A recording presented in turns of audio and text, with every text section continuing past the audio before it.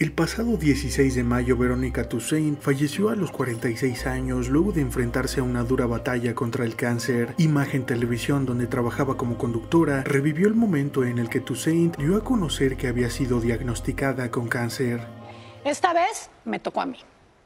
Hace más de un mes me detectaron cáncer de mama. Y hoy decido compartirlo aquí con ustedes en este foro con mis chuladas. Es un proceso muy intenso para mí y sobre todo pues para los que me rodean y me quieren cerquita.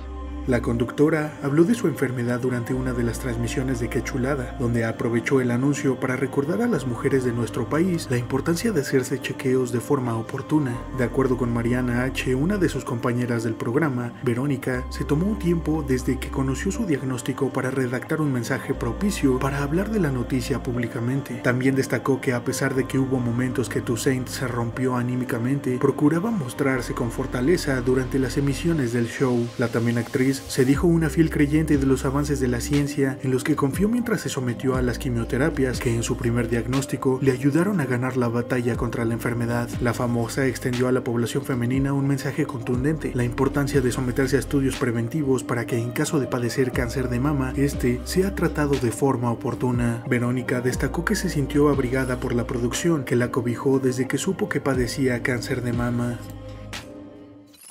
Mantente informado con el Universal y suscríbete a nuestro canal.